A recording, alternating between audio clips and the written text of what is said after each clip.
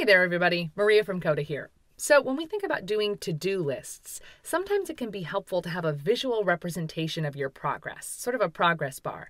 And we had some fun in our Coda lab putting together an example that allows you to have a progress bar matched with a to do list. So, let's take a look.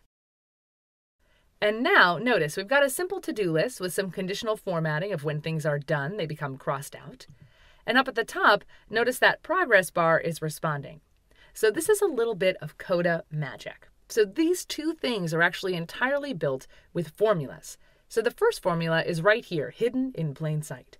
So if I right click it, notice it's calculating the percent complete from our to-do list. So it's looking at the to-do list, it's looking at what's done versus what's not done, and then it's allowing us to calculate that percentage. And I've named this formula percent, so I can very easily reference that elsewhere so I don't have to rewrite all of this. Now, this progress bar, this is actually two formulas right next to each other as well. This is what we call the rectangle formula.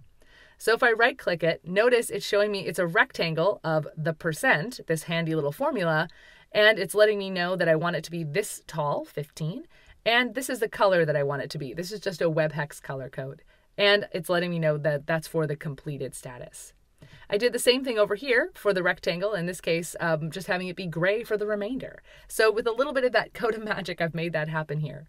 Now, maybe you don't like green. Maybe you'd prefer to have it be red. Well, if you want to change that, you can go right in here. I'm just going to change this to be the code for red, which is FF, and then four zeros, one right after the other. And now I've got that nice red progress bar. So it's a little bit of a, a, fun bit of Coda magic. Have a good time with it. And remember, you can always start to add different elements to your to do list by adding new columns and, of course, adding new rows. All right, have some fun and find out where else you might be able to do a rectangle formula.